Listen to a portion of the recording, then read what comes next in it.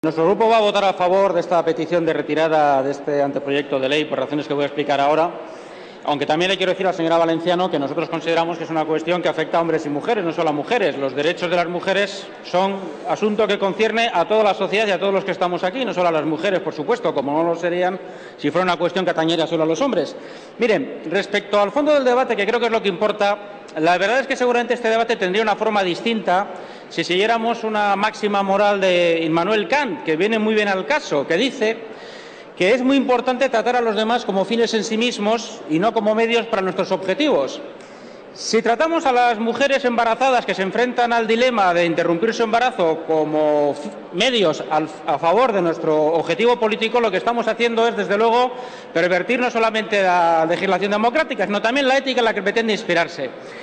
Y esta es una cuestión que hay que abordar porque ¿de qué se trata a la hora de hacer una ley del aborto? O de mejorar o de cambiar una que existe. Desde, nuestro punto de vista, el entrar en un debate sobre la ley vigente actual de interrupción voluntaria del embarazo solo puede tener eh, un objetivo, que es, o mejor dicho, dos objetivos. Uno, mejorar la seguridad jurídica de la propia ley y, en segundo lugar, aumentar la libertad, en este caso, de las mujeres embarazadas eh, que mm, quieran o no interrumpir su embarazo.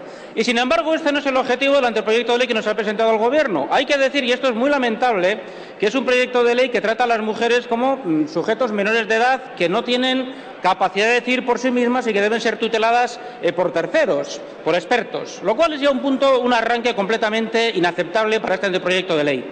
Pero es que además incluso se da la paradoja en este anteproyecto de que si la mujer finalmente no respetara lo que la legislación establece, ni siquiera se le considera responsable. Es realmente un tratamiento que, pretendiendo ser, eh, vamos a decir, eh, benévolo, no es otra cosa que paternalista y desde luego introduce una desigualdad inaceptable para nuestro grupo desde el punto de vista ético-político de las mujeres respecto a los hombres. Es decir, una relación de inferioridad. Miren, en una sociedad plural como es la nuestra existen diferentes éticas rivales. Éticas rivales significan que son éticas aceptables dentro de lo que es la democracia, pero que no están de acuerdo en cuestiones como esta que nos afecta. Y sin embargo, ustedes han tirado por la vía que es la única que choca frontalmente con lo que es la democracia y el pluralismo. Es decir, pretenden que una ley del Estado adopte una moral particular como la moral pública que debe de eh, gobernar las decisiones personales de las personas.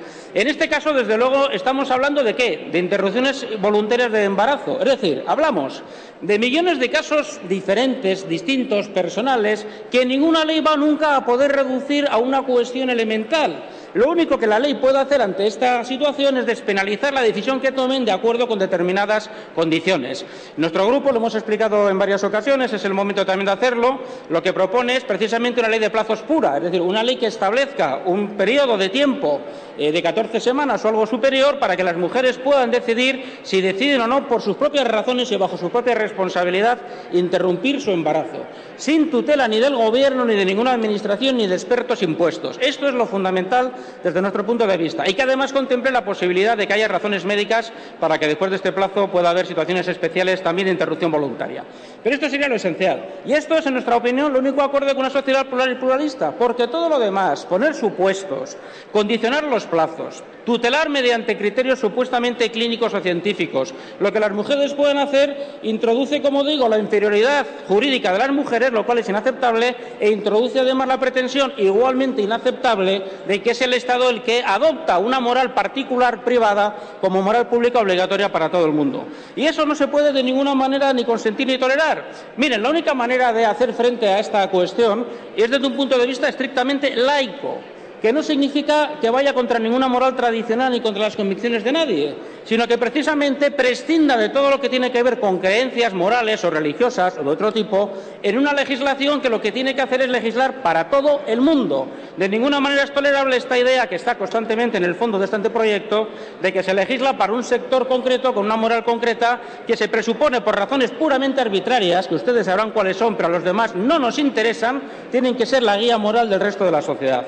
Miren, eso es fundamentalismo o totalitarismo o intervencionismo. Yo prefiero creer que sencillamente es un desliz intervencionista y que ustedes mismos harán lo que esperamos todos que hagan, que es guardar en algún cajón ese anteproyecto de ley para que no se acabe tramitando por completo en este Parlamento. no quiero concluir mi intervención sin hacer un comentario que me parece obligado sobre el hecho de que, a propuesta del Grupo Socialista, tengamos que votar en urna una cuestión como esta. Miren, nos parece un fraude. Los votantes, los ciudadanos, tienen derecho a saber qué es lo que votamos cada uno de nosotros. No es una cuestión de conciencia, es una cuestión política. ¿Qué es lo que pensamos respecto de este anteproyecto de ley si apoyamos o no su retirada? Exactamente igual que si se llegara a tramitar tendrían que saber qué enmiendas votamos, en qué condiciones y cómo votamos el conjunto de la ley. La verdad es que es un día bastante triste para aquellos que confunden la ética con la política y al final la política con cualquier otra cosa. Muchas gracias.